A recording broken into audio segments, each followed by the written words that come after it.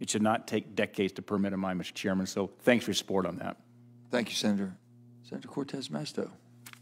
Thank you, Mr. Chairman. Thank you, the panelists. Uh, Mr. Trujillo, let me start with you. Uh, I so appreciate uh, Senator Hickenlooper's comments. As we're all aware, there's a historic drought happening uh, in the West right now. Colorado River Basin uh, is facing its worst hydrology on record, which could lead to its first ever shortage declaration this year.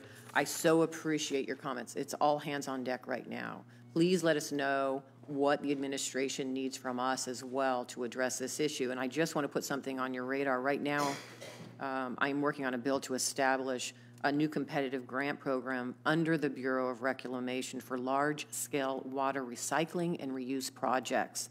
A bill would also include measures that would provide greater clarity and expand eligibility under existing drought programs for eligible entities to receive federal financial assistance for drought planning and drought mitigation purposes. Look forward to working with you on that. So thank you. Let me jump back to conversation around um, critical minerals and battle, um, battery uh, recycling um, and manufacturing grants.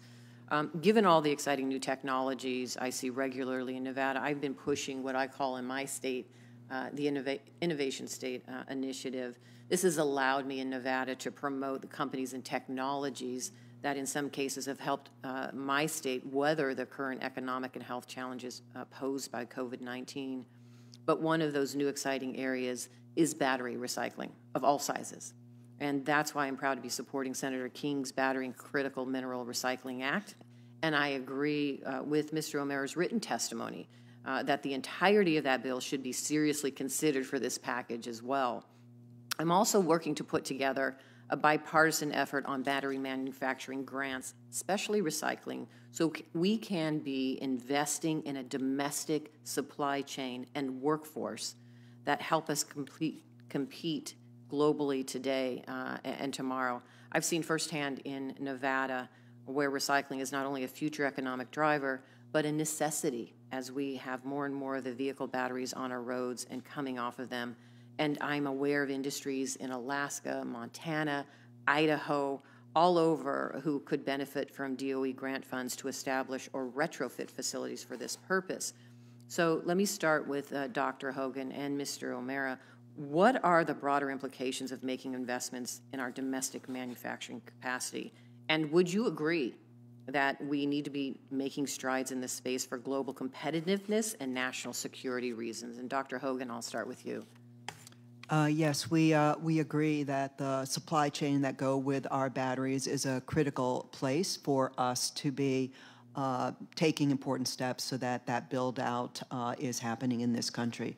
As, uh, as you've pointed out, it's a growth opportunity uh, for states like Nevada, but, uh, but really the whole country, uh, as we move toward uh, a variety of battery uh, technologies for electric vehicles and for the grid. Um, so we absolutely agree that this is uh, an important priority. And, and, thank you. And let me, and, and Mr. O'Mara, I want your weigh in on this, but let's talk also, also about the critical minerals for these batteries as we talk about recycling, right? Lithium, lithium mining we are looking at in Nevada right now, but cobalt and to my understanding, where is most of the cobalt being mined right now? Do either one of you know? Does anybody know, Mr. O'Mara? Congo. Yeah. And that's the challenge uh, that we have in this country. And so, if we are really going to identify these critical minerals, bring that supply chain back from the extraction through the production, through the whole process, uh, we have to look at the mining piece of it as well. And so, Mr. O'Mara, if you could address this, I would appreciate it. I think Senator Lankford said it well earlier. I mean, like we've seen the problems when we don't have control over our supply chains, and you know, I'll be damned if we're going to spend the next 30 years buying everything from China or offshore wind turbines from Germany or electric vehicles from Japan, um, when we could do that all here. And like, there's a there is an environmental piece of this. I mean, there's been a NIMBYism around a lot of this. We have to be smarter. There's also been GAO analyses that show that kind of incomplete permits are slowing down the process, and in some cases as much as kind of government inefficiency.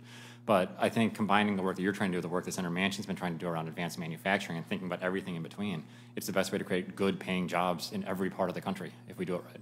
That's right. And I know I've, I've got just a few minutes left. Uh let me just touch on the rangeland fires because I also appreciate this conversation as well. Nevada, most of our fires are rangeland fires. We have cheat grass everywhere. And, and, we have been talking about trying to address this. This is an invasive species.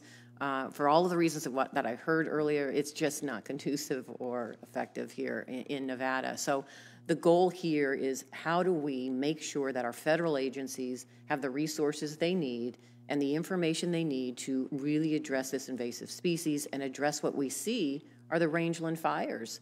Uh, listen, we have forest fires, yes, but rangeland fires that I've seen in Nevada are some of the largest that we have ever seen, and they have an impact on individuals, uh, and the economy, uh, along with the climate as well. So, Mr. Uh, if you would touch on that very briefly, I would appreciate it. Yeah, and, and just building on, on Dr. Holtz Eakin's point, I mean, this is an area where, like, if we don't make investments, the down the downside on the economy, slowing down our GDP, is massive. I mean, and so, like, again, I mean, I think this is like collective defense. I mean, if we have to invest in our natural infrastructure as a way to reduce the risk to community, to life, to property, to, to businesses, um, and we need to do it at scale. I mean, the challenge is that it's always an afterthought. It's always treated as discretionary spending. But I would argue this is as important to our economic future as anything else we're talking about right now.